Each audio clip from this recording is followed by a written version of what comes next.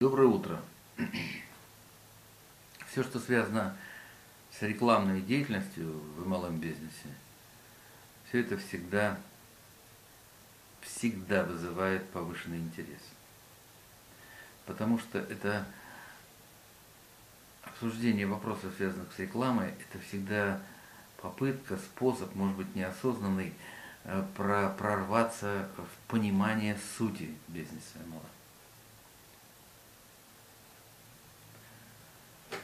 Явной, очевидной, э, внешней такой простоте сетевого бизнеса, сетевого маркетинга, глубинное его вот понимание доступно не для многих почему-то.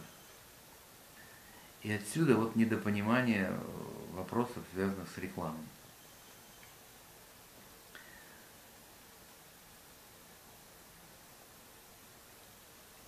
Вот если бы я занимался обычным делом, ну, был бы у меня магазин или мастерская какая-нибудь, любой другой бизнес, обычный, традиционный, то без рекламы мне ловить нечего в этом мире. Нужно сделать все для того, чтобы тебя знали. Все для того, чтобы тебя знали. Я читал книгу автор такой киллер. Э, называется «Как стать миллионером э, на продаже недвижимости», что-то такое. И там статьи известных людей, которые делают большие деньги на недвижимости. Американские риэлторы. И один из них, миллионер, для меня открытие сделал серьезное. Я вдруг это было давно, когда-то понял, когда я занимался рекламой в сетевом бизнесе в Гербалайфе, я вдруг понял, что люди в обычном бизнесе не преуспевают, потому что они недопонимают роли рекламы. Они недопонимают, что поиск клиентов или работа, связанная с приобретением и удержанием клиентов, а это целый спектр разнообразных способов и методов, которые нужно использовать совокупно, чтобы э, быть успешным. Так вот, эта вот рекламная деятельность, то есть набор клиентов, это львиная доля успеха, это большая часть работы. А все остальное, знание законодательства, показ объектов недвижимости, значит, оформление сделок, это все, это все потом. Это, это, это не имеет значения такого, как поиск клиентов. Нет клиентов, нету бизнеса. Все, точка. Откуда берутся клиенты? И вот там у него целая система рекламной деятельности. Почему он миллионер? Потому что он всю свою команду настроил на рекламу. С утра до ночи они делают одно. Они находят новых и удерживают старых.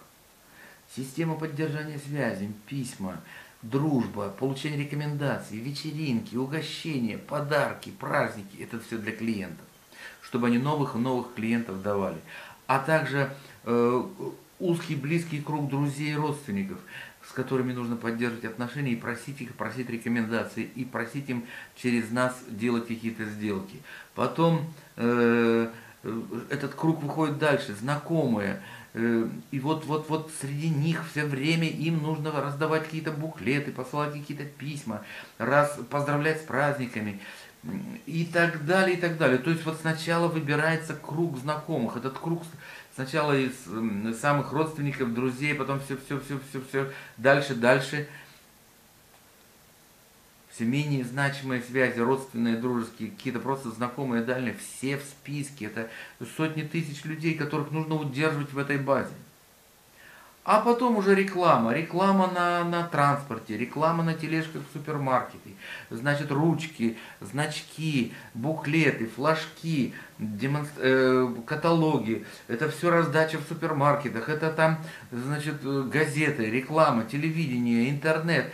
Все это совокупный комплекс рекламной деятельности приводит к тому, что ручейки отовсюду, поток клиентов двигается, и потом этих клиентов удерживать. И тогда у тебя есть всегда база людей, которые и продают, и покупают, продают и покупают. И ты тогда уже, обеспеченный этими клиентами, можешь иметь существенный доход.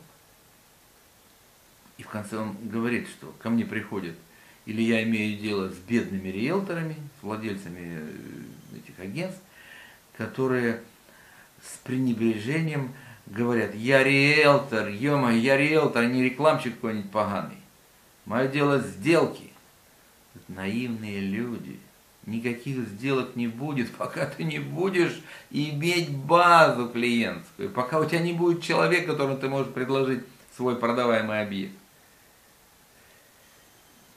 Я зачем это так подробно рассказываю? Если бы это был традиционный бизнес, обычный, был бы у меня магазин, агентство недвижимости или что-нибудь, то тогда мне нужно было бы просто стать асом в рекламной работе. Таковы формы бизнеса. Это интересы одного частного предпринимателя. Так реализуется с помощью рекламы. А суть сетевого бизнеса стоит совершенно в другом. Мы продаем такие же товары, такие же услуги, как в обычном, ну почти многое из того, что продается в обычном традиционном бизнесе. Но мы продаем по-другому. Мы по-другому продаем. Суть продажи, суть увеличения товарооборота и извлечения прибыли в сетевом маркетинге состоит в совершенно других вещах. И она проста, и корни ее можно найти в Библии. Самый лучший в мире продукт, самый главный, самый настоящий продавал